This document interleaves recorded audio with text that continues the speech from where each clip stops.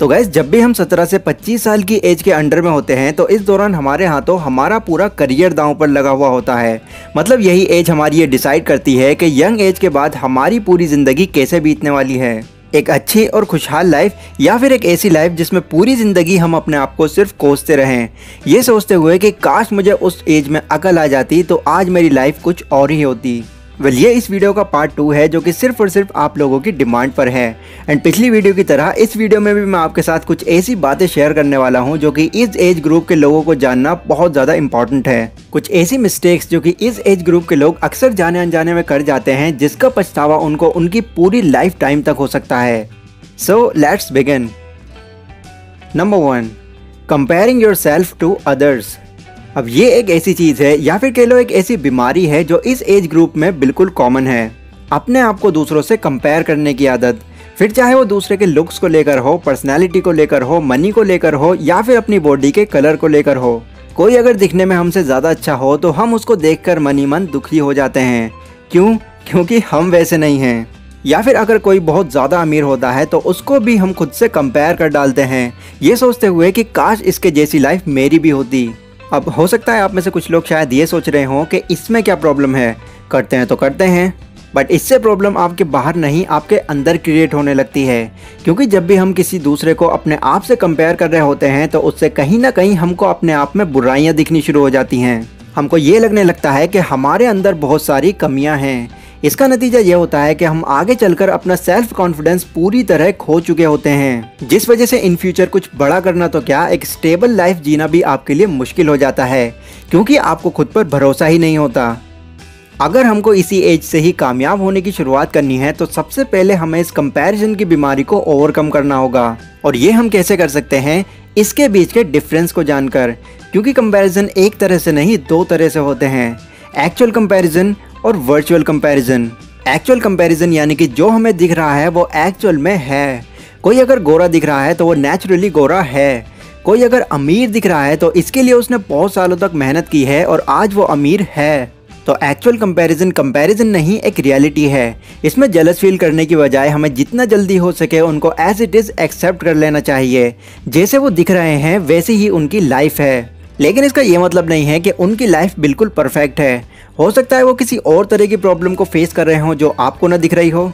But हमें जिस चीज़ से बचने की ज़रूरत है, वो है वर्चुअल कंपैरिजन वर्चुअल कंपैरिजन यानी कि जो हमको दिख रहा है, वो एक्चुअल में है ही नहीं। और इसका सबसे बड़ा एग्ज़ाम्पल है सोशल मीडिया यहाँ आप ऐसे लोगों से घिरे हुए होते हो जो हर एक कोशिश करते हैं अपने आप को रिच और गुड लुकिंग दिखाने की। पर यही लोग अगर आपको कहीं रियलिटी में दिख जाएँ तो उनके असली लुक को देखकर आप शायद उनको पहचानने से भी इनकार कर दो। क्योंकि वर्चुअली हर कोई अपना बेस्ट दिखाने की कोशिश करता है। इतना बेस्ट जितना वो एक्चुअल में है भी नहीं। एग्ज़ाम्पल के थ्रू अगर मैं आपको बताऊँ तो मान लीजिए आप अपने फ़ोन में अपनी पाँच फ़ोटोज़ क्लिक करते हो, जिनमें से चार तो बेकार आती हैं बट पाँच भी बहुत ज़्यादा अच्छी आती है। तो आप बाकी लोगों को अपनी कौन सी फ़ोटो दिखाना ज़्यादा पसंद करोगे? उन चार में से कोई एक, या फिर वो पांचवी जो कि एकदम बेस्ट आई है। ऑब्वियसली वो पांचवी फ़ोटो जिसमें आप अच्छे दिख रहे हो। पर जिनमें आप अच्छे नहीं दिख रहे हो, वो चार फ़ोटोज़ भी आप ही की हैं, जिनको आप बाकी लोगों से छिपा देते हो। तो जैसा आप करते हो बाकी लोग भी एग्जैक्ट वैसा ही करते हैं। अब इन लोगों से आप अपने आप को अगर कंपेयर करने लग जाओगे तो उनका तो कुछ नहीं बिगड़ेगा बट आपका सेल्फ कॉन्फिडेंस पूरी तरह ख़त्म हो जाएगा। तो मेक श्योर sure आप इस वर्चुअल कंपैरिजन को अभी ख़त्म कर दें। आप जैसे भी हो, अपने लिए बिल्कुल परफेक्ट हो। Number two this is your starting don't make it the end जैसा कि मैंने वीडियो के स्टार्टिंग में ही आपको बताया कि ये एज हमारा एक ऐसा टाइम होता है जिसमें हमारा आने वाला पूरा करियर दाव पर लगा हुआ होता है। इसमें जितना ज़्यादा आप अभी मेहनत कर लेते हैं, उतने ही अच्छे रिजल्ट्स आपको फ्यूचर में मिल पाते हैं। लेकिन एक और चीज़ जो कि इस एज में मेहनत करने से भी कहीं ज़्यादा इंपॉर्टेंट है, जो कि है गाइज़ रिस्क लेना। रिस्क लेना अपने लाइफ के लिए, अपने आप को कामयाब बनाने के लिए। क्योंकि यही एज एक बेस्ट टाइम पीरियड होता है, ज़्यादा से ज़्यादा रिस्क लेने का। बट इस एज में भी लोग रिस्क लेने से बहुत डरते हैं। वो एक प्लान तो अपने माइंड में ज़रूर सोच कर रखते हैं, पर कहीं ना कहीं उनको ये लगता है कि अगर हमारा ये प्लान फेल हो गया तो बहुत बुरा हो जाएगा। और इसी वजह से वो अपना अगला स्टेप उठाने से पहले ही पीछे हट जाते हैं। अब आप अपना माइंड लगाकर ज़रा ये सोचिए कि आपके पास अभी खोने के लिए है ही क्या? कोई करोड़ों की प्रॉपर्टी बिल्कुल नहीं। बहुत सारा पैसा? नहीं। वाइफ और बच्चों को टाइम ना दे पाने का डर? अभी तक तो नहीं। तो हम आखिर डरते किस लिए हैं? ना ही हमारे ऊपर अभी कोई फैमिली की रिस्पॉन्सिबिलिटी है और ना ही इतना ज़्यादा कोई बर्डन इस एज में आप इनफ कैपेबल हैं अपने फ्यूचर को सिक्योर करने के लिए, उस प्लान पर काम करने के लिए जो आगे चलकर आपको सक्सेस की ओर ले जाए।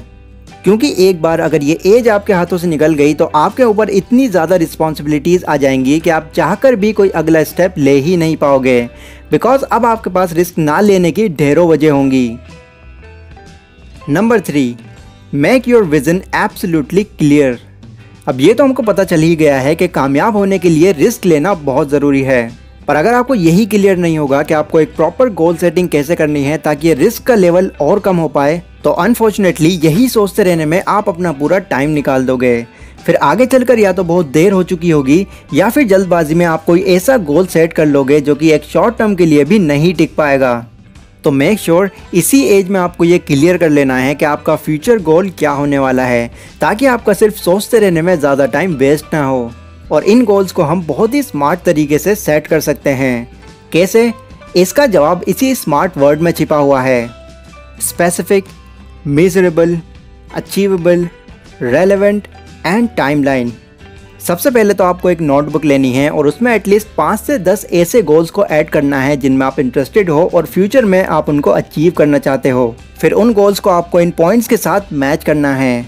जो मैच कर जाते हैं, वही गोल्स आपका फ्यूचर हो सकते हैं। नंबर वन स्पेसिफिक आपका गोल स्पेसिफिक होना चाहिए। अगर आपने अपने गोल में ये ऐड किया है कि मैं बहुत अमीर बनना चाहता हूँ तो ये आपका एक स्पेसिफिक गोल नहीं है। उसके लिए आपको ये एग्जैक्ट क्लियर होना चाहिए कि आपको कितना अमीर बनना है। क्या आपको मंथली पचास हज़ार रुपये कमाने हैं या फिर एक लाख। और इतने पैसे कमाने के लिए आप काम क्या करने वाले हैं? नंबर टू मेजरेबल आपका गोल मेजरेबल होना चाहिए। यानी कि जो भी गोल आपने सेट किया है, उसमें आपको ये पता होना चाहिए कि आप अभी अपने गोल से कितना दूर हैं। क्या आप पहली बार उस गोल पर काम करने जा रहे हैं या फिर ऑलरेडी आपको उस फ़ील्ड में थोड़ी बहुत नॉलेज है? इसी के साथ आपको ये भी पता होना चाहिए कि ये एक शॉर्ट टर्म गोल है या फिर एक long term goal number three achievable जिस भी गोल को आपने अपनी नोटबुक में ऐड किया है, क्या सच में आप उस गोल को पूरा कर सकते हैं? क्योंकि अगर आपका फ्यूचर गोल बिल गेट से भी ज़्यादा अमीर बनने का है तो हो सकता है ये शॉर्ट टर्म में आपको एक पॉजिटिव फीलिंग भी दे दे, पर इतना बड़ा गोल अचीव करने के लिए आपके पास कोई स्पेशल प्लान नहीं होगा। जिससे आप डिमोटिवेट होकर वहीं गिव अप कर दोगे।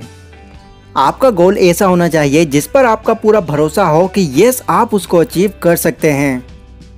नंबर फोर रेलेवेंट आपको इसी के साथ ये भी एनालाइज करना होगा कि जिन गोल्स को आपने ऐड किया है, वो आप खुशी से करने जा रहे हैं या फिर आपने किसी से ये सुन लिया है कि भाई, इस फ़ील्ड में बहुत ज़्यादा स्कोप है।